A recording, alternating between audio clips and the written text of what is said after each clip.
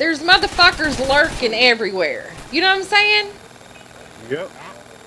It's like, goddamn, let me check in this motherfucking bucket. Let me see if somebody's in there.